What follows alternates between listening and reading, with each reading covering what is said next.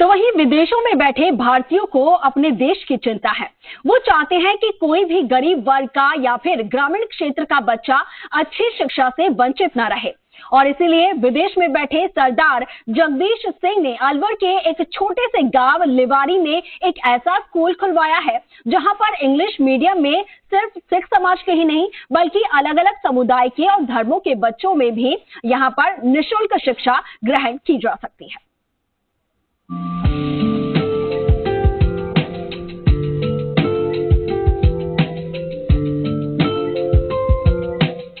विदेश में रह रहे सरदार जगदीश सिंह की चाहत है कि संसाधनों के अभाव में कोई भी बच्चे की पढ़ाई वंचित न रह जाए। जगदीश सिंह की देश के बच्चों को पढ़ा लिखा कर एक काबिल इंसान बनाने की चाहत है। उनका ये सपना साकार होता भी नज़र आ रहा है। दरअसल अलवर ज़िले के ग्रामीण क्षेत्र में ऐसा ही कुछ देखने को मिल रहा है। अलवर के लिवारी गाँव में सिख समाज द्वारा एक ऐसा स्कूल चलाया जा रहा है, जहाँ न सिर्फ़ सिख समाज बल्कि सभी समाज से जुड़े गरीब बच्चों को निशुल्क शिक्षा से लेकर सारी सुविधाएँ दी जा रही हैं। इन्हें कॉपी किताब सहित बैग इत्यादि भी निशुल्क दिए जा रहे हैं। इस स्कूल में पढ़ने के लिए दूर दूर से बच्चे यहाँ पर आ रहे हैं। उन्हें यातायात सुविधा भी फ्री में दी जा रही है। लिवारी में बना ये स्कूल किसी निजी स्कूल से कम नहीं लगता।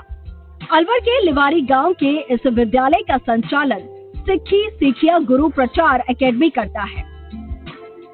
यूएस में बैठे जगदीश सिंह का मानना है कि नर सेवा ही नारायण सेवा है। उन्होंने विदेश में बैठे वहाँ के वातावरण को देखा और उन्हें लगा कि हमें भी भारतीय बच्चों को अच्छी शिक्षा देनी चाहिए ताकि वो भी किसी मुकाम पर पहुंचकर समाज और देश के लिए कुछ कर सके। लोड़वंद जितने भी गरीब बच्चे उनको हम बढ़िया से बढ़िया एजुकेशन दे सकें। जी। ये हमारा ये शुरुआत हमने ये करी है लिवारी गाँव से और आगे ये एल के जी से लेके अभी फोर्थ क्लास तक हमने शुरू किए। एजुकेशन ज़रूरी है। जिस देश में एजुकेशन है, वो देश कभी गरीब नहीं हो सकता। यहाँ का जिम्मा संभाल रहे तारीफ़ सिंह ने बताया कि यहाँ समय समय पर विभिन्न तरीके की प्रतियोगिता बच्चों में करवाई जाती है। विद्वान लोगों को बुलाकर उनका उद्बोधन करवाया जा सके। धार्मिक और सांस्कृतिक ज्ञान के लिए भी समय समय पर कार्यक्रम आयोजित किए जाते हैं। हाल ही में चित्रकला और दस्तार प्रतियोगिता करवाई गई थी।